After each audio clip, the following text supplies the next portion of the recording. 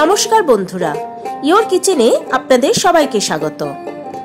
আমার আজকের রেসিপি ডাল পরোটা।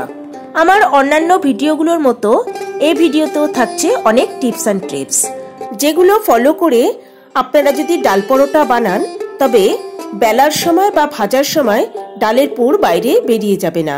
আজকে ডাল পরোটা পরিবেশন করব এই রকম আলুর দমের সঙ্গে। আর এর ভিডিও আমি কালকে আমার চ্যানেলে আপলোড করে দেবো। ডাল পরোটা বানানোর জন্য আমি নিয়ে নিয়েছি ছোলার ডাল। ছোলার ডালটাকে খুব ভালো করে ধুয়ে আমি পরিষ্কার করে নেব। ডাল ধুয়ে পরিষ্কার করে নিয়েছি। এবার এটাকে আমি অন্তত তিন থেকে চার ঘণ্টা জলে ভিজিয়ে রাখব। একটা মশলা আমি তৈরি করে নেব। তার জন্য আমি প্যানের মধ্যে দিয়ে দিলাম গোটা সাদা জিরে, গোটা ধনে, দিয়ে দেব গোলমরিচ, আর দেব লবঙ্গ, দারচিনি, ছোট এলাচ, আর দেব কয়েকটা শুকনো লঙ্কা। এবার এই সমস্ত মশলাগুলোকে লো ফ্লেমে ড্রাই রোস্ট করে নেব বা শুকনো ভেজে নেব। এই সময় গ্যাসের ফ্লেম থাকবে মিডিয়ামে। ভালো করে ভেজে নেওয়া হয়ে গেছে। এবার এগুলোকে আমি একটা প্লেটে তুলে নেব। এগুলোকে অল্প গরম অবস্থাতেই আমি নিয়ে নেব মিক্সার গ্রাইন্ডার জারের মধ্যে। এবার একটা মিহি পাউডার আমি তৈরি করে নেব।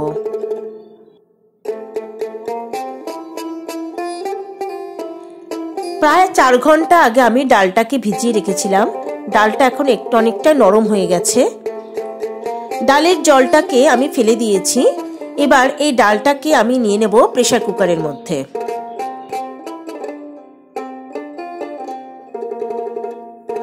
এবার এর মধ্যে দিয়ে দেব দু কাপ পরিমাণ জল। এখানে বেশি জল দেব না, বেশি জল দিয়ে জলটা সেদ্ধ করলে ডাল পুরোপুরি গলে যাবে এবং পাতলাও হয়ে যাবে। এবার এর মধ্যে আমি দিয়ে দিলাম হাফ চামচ পরিমাণে নুন আর দিয়ে দিলাম সামান্য পরিমাণ একটু হলুদ গুঁড়ো।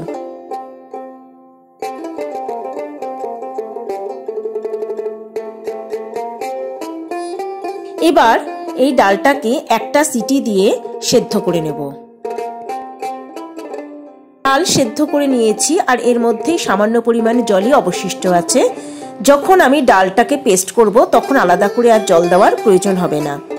আর দেখতেই পাচ্ছেন, ডালটা কিন্তু পুরোপুরি সেদ্ধ করিনি, ডালের সেদ্ধটা এই রকমই হবে। এবার এই সেদ্ধ ডাল আমি মিক্সার গ্রাইন্ডার জারের মধ্যে নিয়ে নিলাম। এবার একটা পেস্ট আমি এর তৈরি করে নেব। ডালের পেস্ট তৈরি হয়ে গেছে। প্যানের মধ্যে দিয়ে দিলাম সামান্য পরিমাণে তেল। তেলটাকে ভালো করে গরম করে নিতে হবে। তেল গরম হয়ে গেছে, এবার এর মধ্যে আমি দিয়ে দিলাম দু চামচ পরিমাণ আদা বাটা। খুব ভালো করে মিডিয়াম ফ্লেমে আদাটাকে ভালো করে ভেজে নিতে হবে। মিনিট দুয়েক ভেজে নেওয়ার পর এর মধ্যে দিয়ে দিলাম বেটে রাখা ডাল।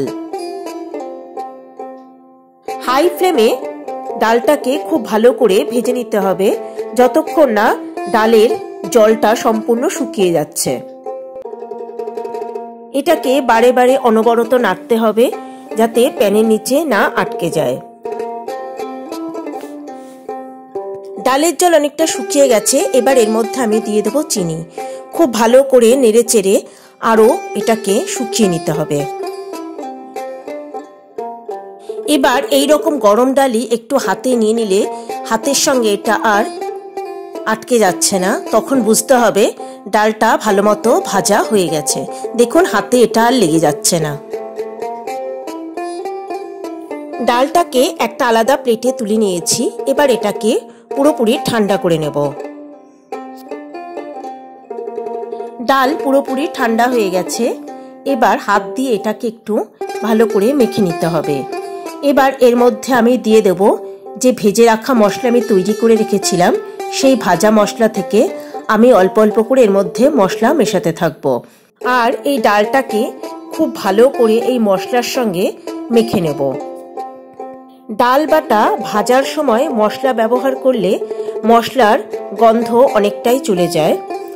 তাই ডাল ভালো করে ভেজে, তারপর ঠান্ডা করে নিয়েই এই মশলা মেশাবেন। তাহলে ভাজা মশলার যে সুন্দর গন্ধ, সেটা বজায় থাকে। ডাল পরোটা বানানোর জন্য পুর একদম রেডি নিয়ে নিয়েছি ময়দা, তার মধ্যে দিলাম পরিমাণ মতো নুন, আর দিয়ে দিলাম প্রায় এক টেবিল চামচ সাদা তেল। এবার খুব ভালো করে ময়দা, তেল আর নুনকে একসঙ্গে ভালো করে মেখে নিতে হবে। এবার এই ময়দার মধ্যে অল্প অল্প করে জল মিশিয়ে খুব ভালো করে ময়দাটাকে মেখে নিতে হবে। একসঙ্গে জল মেশাবেন না, অল্প অল্প করে জল মিশিয়ে মিশিয়ে ময়দাটাকে ভালো করে মেখে নিতে হবে।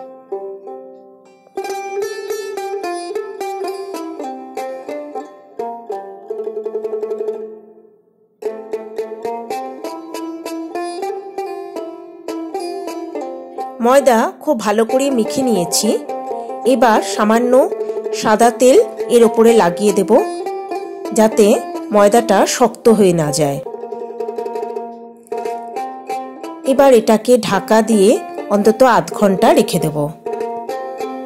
আধ ঘণ্টা পর ময়দা থেকে আমি লেচি কেটে নেব। লেচির সাইজগুলো এরকম হবে। সমস্ত লেচি কেটে নেওয়া হয়ে গেছে। এবার এগুলো আমি একটু গোল গোল করে নেব।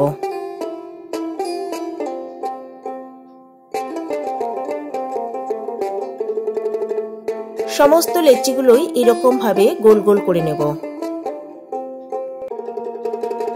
এবার একটা লেচিকে নিয়ে এইভাবে হাত দিয়ে ঘুরিয়ে ঘুরিয়ে একটা বাটির মতো তৈরি করে নেব। এবার তার মধ্যে আমি দিয়ে দেব আগে থেকে তৈরি করে রাখা ডালের পুর। হাত দিয়ে এভাবে চেপে চেপে পুরটাকে ভালো করে বসিয়ে দিতে হবে।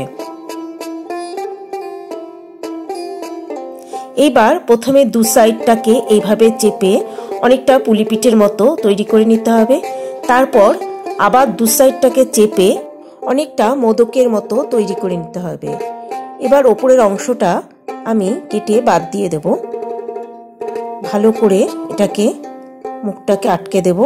তারপর আবার দু হাতে গোল করে নেব। এবার একইভাবে প্রত্যেকটা লেচিকেই এরকম বাটির মতো তৈরি করে নিয়ে তার ভিতরে পুট দিয়ে আমি এবং গোল গোল করে নেব। আমার সকল দর্শক বন্ধুর কাছে একান্ত অনুরোধ রইল আমার চ্যানেলটা সাবস্ক্রাইব করার ও পাশে থাকা বেল আইকনটা প্রেস করার। সবগুলো লেচিকেই আমি এইভাবে পুর ভরে তৈরি করে নিয়েছি। এবার বেলে নেওয়ার পালা। চাকির ওপর দিয়ে দিলাম কিছুটা ময়দা। এবার একটা করে পুর ভরা লেচি এইভাবে হাত দিয়ে প্রেস করে যতটা পারব বড় করে নেব। তারপর হালকা হাতে এটাকে খুব ভালো করে বেলে নেব। এইভাবে ঘুরিয়ে ঘুরিয়ে যতটা সম্ভব পাতলা করে বেলে নেব। দেখতেই পাচ্ছেন, ভেতর থেকে একটুও ডালের পুর বেরিয়ে আসেনি। আর এটাও কতটা পাতলা হয়েছে। এইভাবে আমি আর একটা লেচিকেও বেলে আপনাদের দেখিয়ে দিচ্ছি।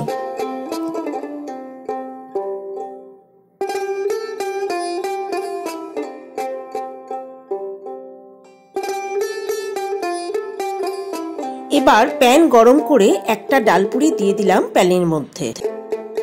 গ্যাসের ফ্লেম মিডিয়ামে রেখে এক পাশটাকে ভালো করে একটু সেঁকে নেব। এক পাশটা সেঁকা হয়ে গেছে, এবার এটাকে আমি উল্টে দেব, যাতে অন্য পাশটাও ভালো মতো সেঁকা হয়ে যায়। দুপাশ সেঁকা হয়ে গেলেই এর মধ্যে আমি দিয়ে দিলাম সাদা তেল। তেল দিয়ে খুব ভালো করে পরোটার মতো করে আমি ভেজে নেব। আপনারা লুচির মতো ডুবো তেলেও ভেজে নিতে পারেন। দুপাশ খুব ভালো করে ভেজে নিতে হবে।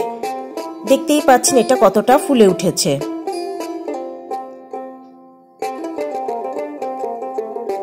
দুপাশ ভালো করে ভাজা হয়ে গেছে। এবার এটাকে আমি প্যান থেকে তুলে নেব। এবার একইভাবে আমি বাকি ডাল পরোটাগুলোকেও ভেজে নেব। আপনারা দেখতেই পাচ্ছেন ডালপুরিগুলো একটুও ভাজার সময় বা বেলার সময় একটুও পুর বেরিয়ে যায়নি। ব্রেকফাস্টে বা ডিনারে আপনারা গরম গরম এই ডাল পরোটা পরিবেশন করতে পারেন। সমস্ত ডাল পরোটাগুলোকেই আমি ভেজে নিয়েছি। এবার গরম গরম ডালপুরি আমি পরিবেশন করব আলুর দমের সঙ্গে। এই নিরামিষ আলুর দমের রেসিপি আমি আমার চ্যানেল ইয়োর কিচেনে কালকেই আপলোড করে দেব। আপনারা দেখে নিতে পারেন। এবার একটা ডালপুরি ছিঁড়ে আমি আপনাদের দেখিয়ে দিচ্ছি ভেতরটা দেখতে কেমন হয়েছে। এবং তার ভিতরে এতটা ডালের পুর দেওয়ার পরেও একটুও ডালের পুর বাইরে বেরিয়ে আসেনি। রান্নাটা ভালো লাগলে একটা লাইক কমেন্ট ও শেয়ার করার অনুরোধ রইল বন্ধুদের কাছে। তবে আজকের মতো বিদায় বন্ধুরা, সবাই ভালো থাকবেন, সুস্থ থাকবেন, নমস্কার।